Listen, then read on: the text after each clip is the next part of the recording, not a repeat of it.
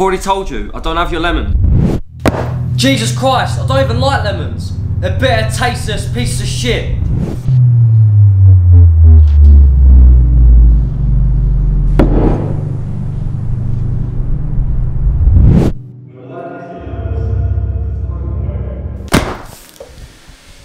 Now, class, I'd like to apologise again for this temporary room change. It won't be the same next week, it's just for today, okay?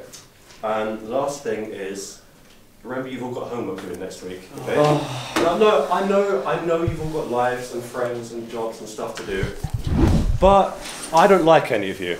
So, yeah, just leave me alone. Apart from you, Mr. Ballwitz. This is the worst exam I've seen. Even at your standards, this is terrible. And we're gonna have to kick you out of this class. I don't really know. David, David, David, what are you doing to me?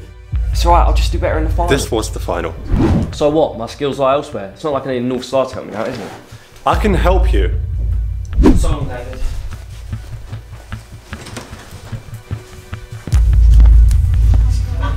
So what was that about then? What's what about? Oh, no, we're just talking about Swiss cheese. Swiss cheese? You were talking about how you're failing, aren't you? Oh, so you're listening then?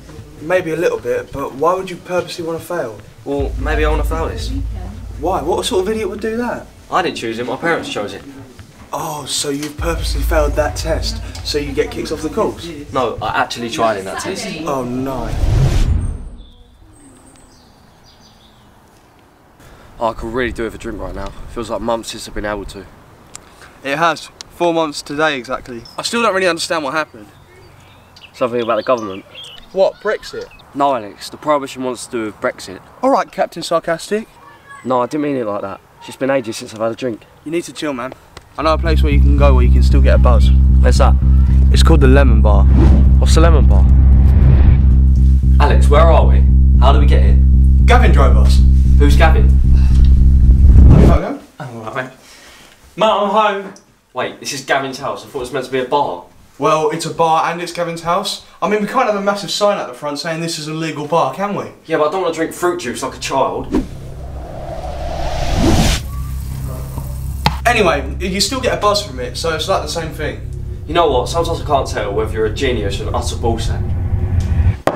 So, why lemons? Why not oranges? No, no, no, my son. Not your son. You see, lemons are like the citrus cocaine. All the supermarkets are sold out, and the imports are down, so they can't get them back in the country. So the price just skyrocket.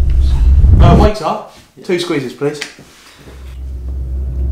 Who's that guy? Oh, that's Gary. He's the boss. He owns the place. He sells all the lemons and makes a huge profit. Wait, so there's a stash of lemons in this place? Right, one night, Gavin showed me that they're upstairs in a storeroom on the right. That information was easy to get. One sec. Jesse's got to sort. Waiter, four more squeezes, please.